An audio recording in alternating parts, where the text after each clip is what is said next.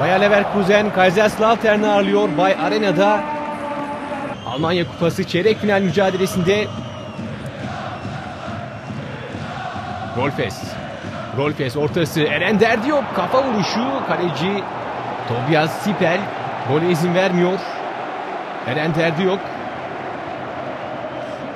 34. dakikada yerini Stefan Kiesling'e bırakıyor ve 90 dakikada gol sesi çıkmıyor. Uzatma devrenin ilkinde 96. dakikada yerde kalıyor Matmur.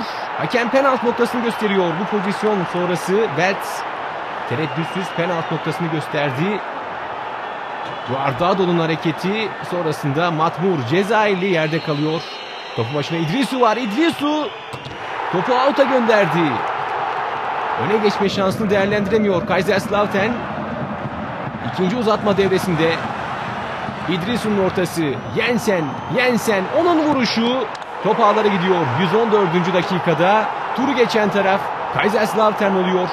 Kaçırdığı penaltıyı telafi ediyor İdrisu asistin sahibi olarak. Kaiserslautern Bayer Leverkusen'i 1-0 mağlup ediyor.